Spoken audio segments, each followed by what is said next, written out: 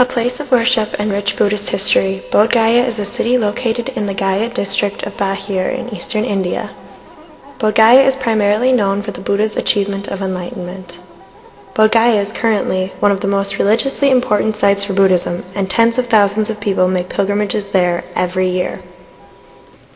The history of Bodh Gaya prior to the Buddha is relatively unknown. Excavations of the area have shown that people have lived in Bodh Gaya for more than 4,500 years. An early ruler of Bodh Gaya was Sisunaga, the leader of the Sisunaga dynasty, which gained control around 600 BC. Another famous ruler of Bodh Gaya was Bimbisara, who ruled around 519 BC. Bimbisara controlled Bodh Gaya during the time in which Siddhartha Gautama came and achieved enlightenment.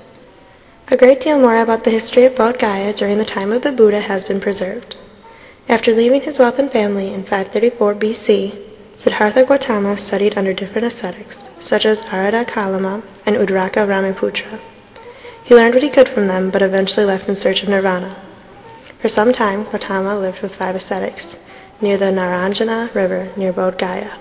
With these ascetics, he practiced severe mortification and emaciation.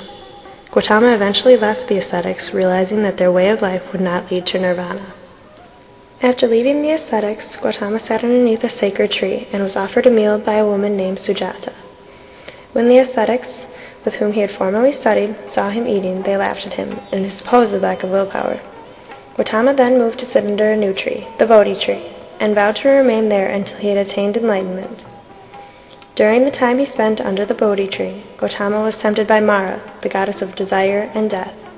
Mara first called up her armies against Gautama, but they could not defeat him. Then Mara's daughters, discontent, delight, and craving, attempted to seduce Gautama, but also failed. Through many days of meditation, Gautama finally achieved nirvana. At the moment he attained nirvana, every being in the world was peaceful, and Gautama became the Buddha. The Buddha stayed meditating under the Bodhi tree for another seven days following his enlightenment. After his awakening, the Buddha spent seven weeks in Bodh Gaya. While there, he traveled to seven different sites, which came to be known as the Satamahatana, the Buddha then left Bodh Gaya for a period of time. He returned, and during his stay converted the Kassapa brothers and their followers. This was the last time the Buddha would visit Bodh Gaya. Before his death, the Buddha recommended that his followers visit the four places that were important in his life Lumbini, Bodh Gaya, Isipatana, and Kushinara.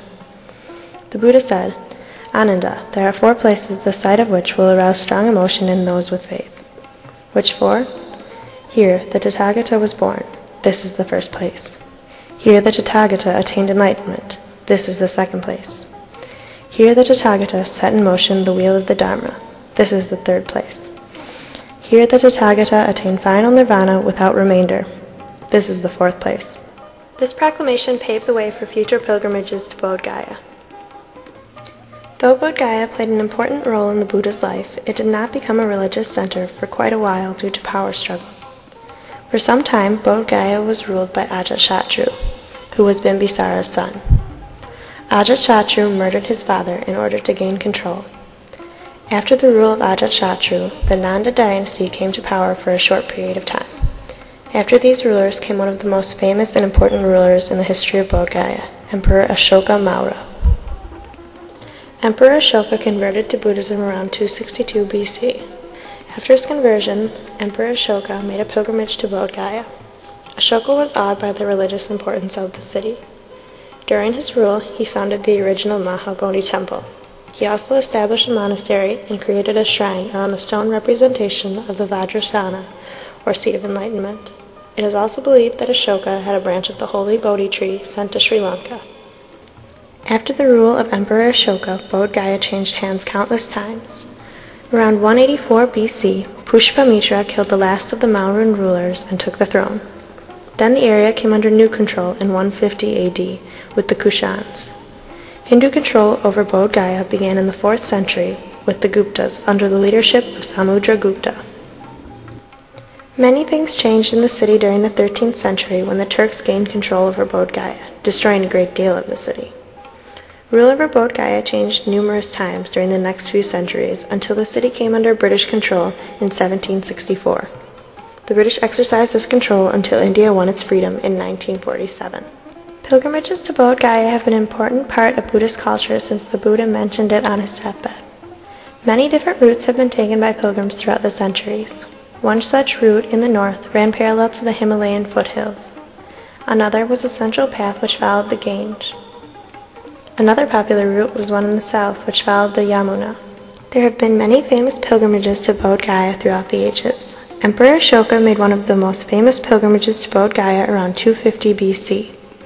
Other pilgrims, such as Fa Yen, who came from China in 399 AD, and Yan Sung, who traveled to Bodh Gaya in 629 AD, helped to record a great deal of the history of Bodh Gaya in their travel journals. Pilgrimages also helped form new types of literature. One new type was Matipatikas, which were small prayer books bought by Sri Lankan monks on pilgrimages. Another new form was Mahatya guidebooks, which showed pilgrims the way to Bodh Gaya.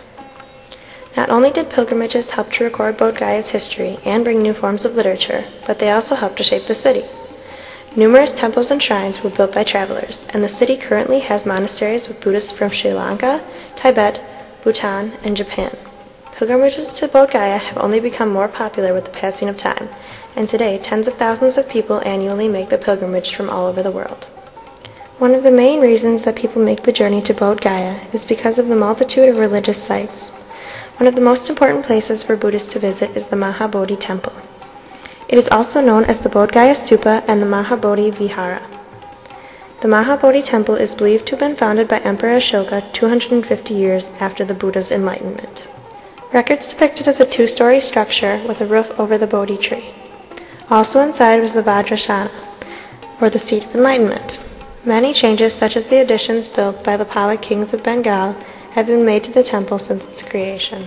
The rule of the Turks and many centuries following devastated the Mahabodhi temple. It wasn't until British rule that the temple was renovated. In 1861, Alexander Cunningham sent word back to Britain of the horrendous state of the temple. Though word was sent in 1861, it wasn't until 1880 that any work began. J.D. Beglar began the work based on models of the original Mahabodhi temple. During the renovation, there was a great deal of controversy over how much was changed about the standing temple. Many people felt that the work being done was actually destroying the temple as opposed to helping it. Just like the city of Bodh Gaya, the Mahabodhi temple has changed hands many times, often between Buddhist and Hindu believers. In the 18th century, a monk named Gosan Gamandi Giri claimed the Mahabodhi temple for himself and for his followers. Later, during the 19th century, the temple was claimed by Anagarika Dharmapala, a pilgrim from Sri Lanka. Dharmapala wanted the Buddhists to again have control of the Mahabodhi temple. A legal battle began, and in 1906, Dharmapala was defeated in his quest for ownership. He continued to fight until 1949 when the Bodh Gaya Temple Act was passed. This act placed ownership of the temple in the hands of four Buddhists and four Hindus. Mixtures of styles and architecture from different time periods have shaped the existing temple. Today the temple is built of brick and limestone and is topped by a stupa, or dome-shaped shrine. Inside the temple is a shrine with a Shakyamuni Buddha statue, which depicts the Buddha touching the earth after his awakening. Around the temple runs a large stone railing. The older portions of the railing were created from sandstone, and the newer portions were created from granite. At the main entrance of the temple there are niches with statues of the Buddha dating back to the 6th century. Another important Buddhist pilgrimage site is the Mahabodhi image. This is a statue which can be found inside the Mahabodhi temple. Many Buddhists believe that the statue is the exact likeness of the Buddha.